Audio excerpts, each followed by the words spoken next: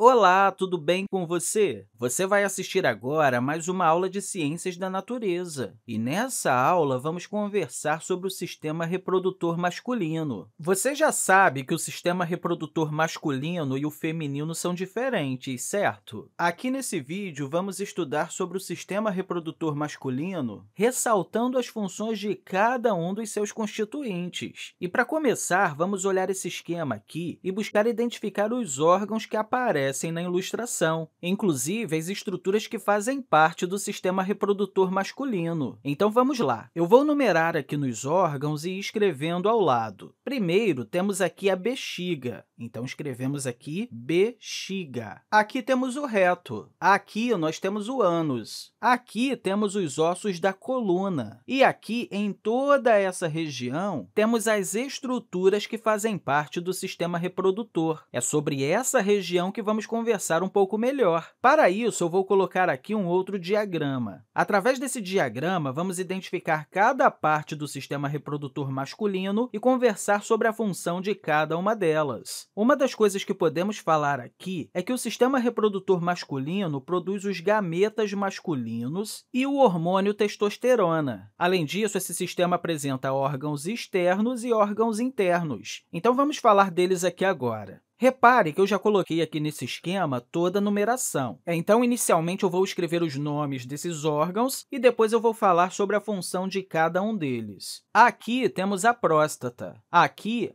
a uretra, aqui temos a bexiga, que eu já apresentei antes e que não possui função reprodutora, já que faz parte do sistema urinário e armazena a urina antes de ser eliminada do corpo. Aqui temos o ducto ou canal deferente. Aqui temos a glande do pênis. Aqui, o epidídimo. Temos aqui os testículos e aqui o pênis. Temos aqui o escroto. Aqui temos o esfíncter uretral. Temos aqui o prepúcio. Aqui temos a glândula bulboretral. E, por último, temos aqui os ductos ou canais ejaculatórios. Vamos conversar agora sobre a função desses órgãos. No escroto, ou saco escrotal, temos os testículos e o epidídimo. O saco escrotal é muito importante, pois mantém as estruturas internas em uma região isolada, a fim de manter a temperatura interna menor que a temperatura do restante do corpo. Os testículos são estruturas responsáveis por produzir o espermatozoide e a testosterona. Já o epidídimo é o local onde o espermatozoide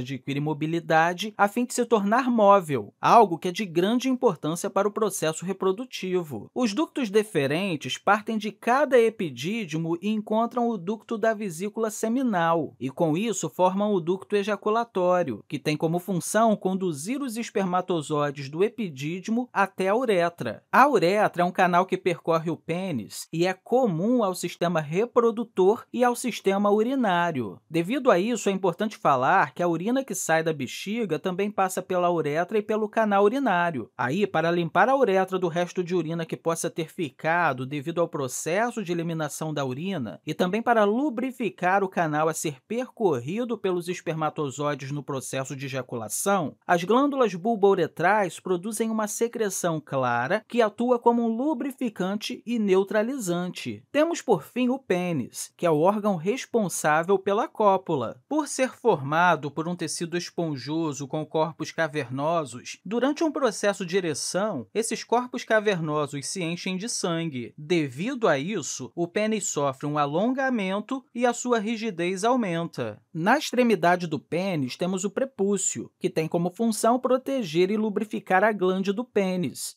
que é o tampão expandido do corpo esponjoso. Enfim, são esses todos os órgãos do sistema reprodutor masculino e a função de cada um deles. Eu espero que você tenha compreendido tudo direitinho que conversamos aqui e, mais uma vez, eu quero deixar para você um grande abraço e até a próxima!